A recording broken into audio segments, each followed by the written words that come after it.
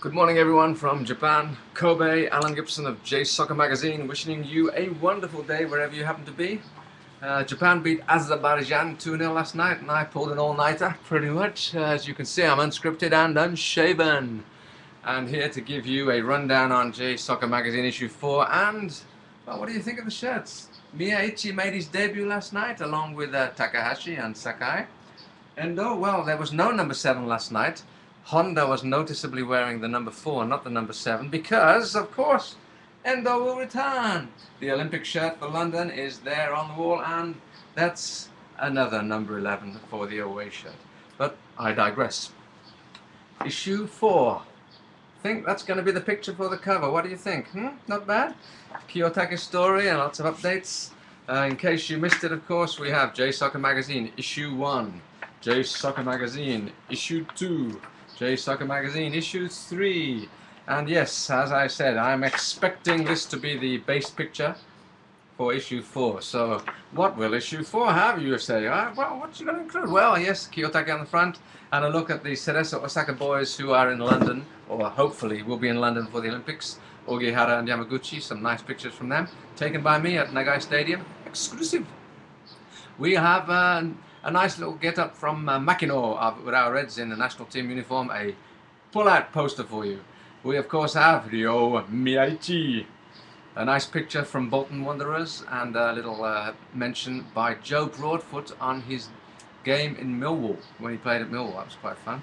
We have the Gamba Osaka coaching woes story. A look at Matsunami. Is he going to turn the team around? Gamba Osaka, five points adrift of safety already with third of the season gone. Who knows? Hidetoshi Wakui. Who, I hear you say? Well, we cover the obscure Japanese footballers around the world. For example, in the last issue, we covered Hiroshi Ibusuki. Never heard of him. He's in Toulon with the under-23 team. Hey, so what next for Wakui-san? Who knows? Full, full stream? Who knows? Uh, we have a stadium guide. Barry Valder has written a book on stadiums of Japan, and we have four-page special on the stadiums of Japan. We have some Japan against Iceland national team exclusive pictures taken by J Soccer Magazine photographer. We have a look at the Nadeshiko team in the Algarve and in the Kirin Cup and perhaps, if all goes to plan, a look ahead to the Olympics for them. Will they repeat their World Cup win? Also, INAC Kobe, some lovely pictures of INAC Kobe, which includes Sawa, Ono, Kyokawa and lots of the international ladies, so that should be good. We have an interview with J Soccer legend Kunishige Kamamoto was in this very office, just, just over there. And uh, he, we got a four-page special on him. Uh, coincidentally, Kagawa Shinji, last night, Shinji Kagawa scored his 10th goal for the Japan national team. The youngest player ever to get 10 goals. Guess who was the last one? Kunishige Kamamoto. What a coincidence.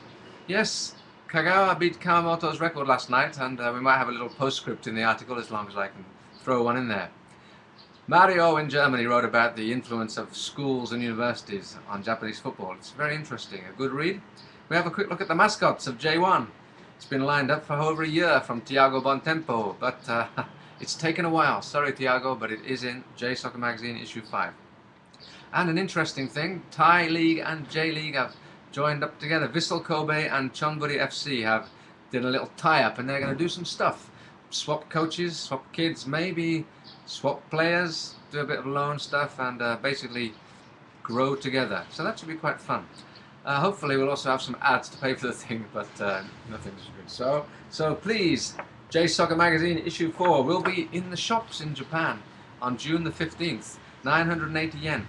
Yes, in the shops. Lawson, Family Mart, Junkudo, all those good bookshops will now stock J Soccer Magazine issue 4 or you can get it from me at alan at jsoccer.com, A-L-A-N at jsoccer.com, or go to the website, www.jsoccer.com, and look around and click on all the bits and uh, order your own magazine. You can also get the back issues, all three back issues still available at cost price of 600 yen each, or you can have them all. Special offer, 1,000 yen for all three of them, plus some postage.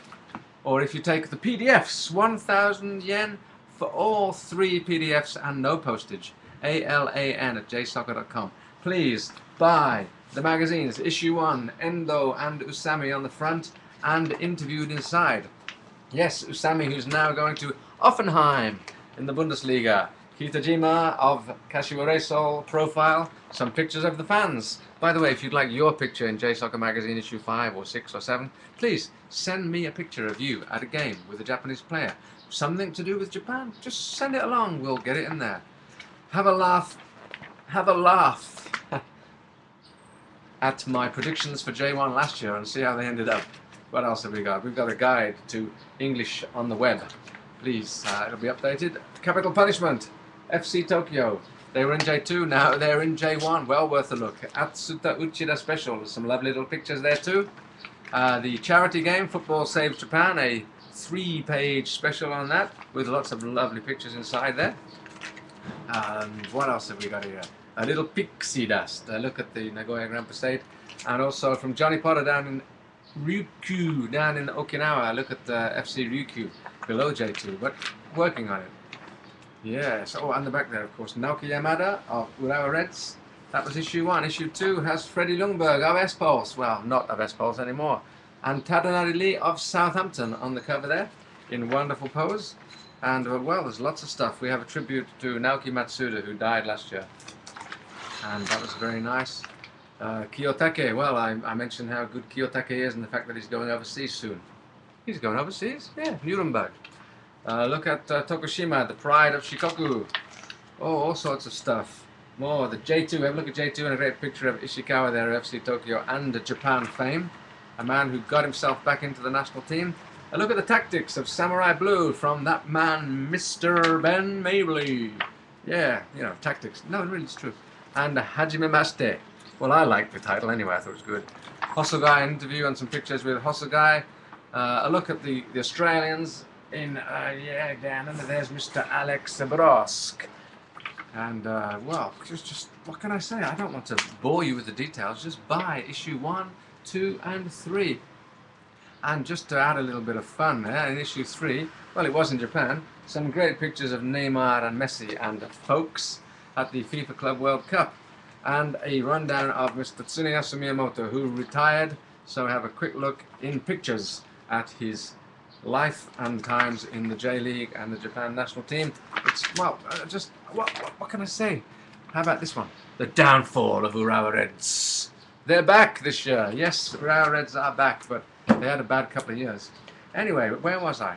Oh yes, J Soccer Magazine, issue 5, June the 15th, in the stores or mail me at alan at jsoccer.com, A-L-A-N, at jsoccer.com, www.jsoccer.com. Make me an offer. You can't refuse.